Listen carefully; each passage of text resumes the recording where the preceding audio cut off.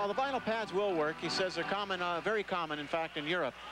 But uh, he thinks it might be a psychological advantage for him against some of the finer shooters in the league, but there's no statistics to really bear it out. Well, I guess as a shooter, you're going to try to shoot where the goaltender is. And Curt Giles had just been checked over at the Montreal bench, and his stick went in the bench. Now McKegney goes into the corner to check. Shooting where the goaltender isn't, and I guess if he's camouflaged, it's kind of hard to tell where he isn't, is it?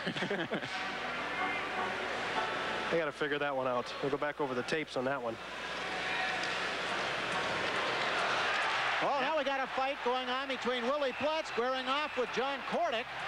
Oh, I haven't seen Willi in a Plett in a long, uh, Willi in a fight in a long time, and uh, still haven't seen one yet. John L. Sullivan out there.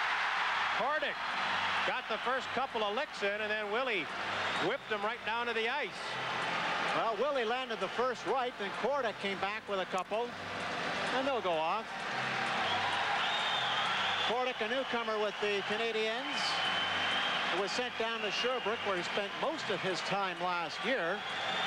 But he says as long as he's going to play hockey, he'd rather fight with Montreal than with Sherbrooke.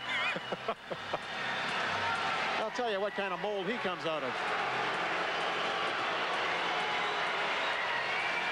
I don't think I've seen Willi get involved since the time he hurt his shoulder against Donnie Jackson in Edmonton. It's that early last season, I think. Yep.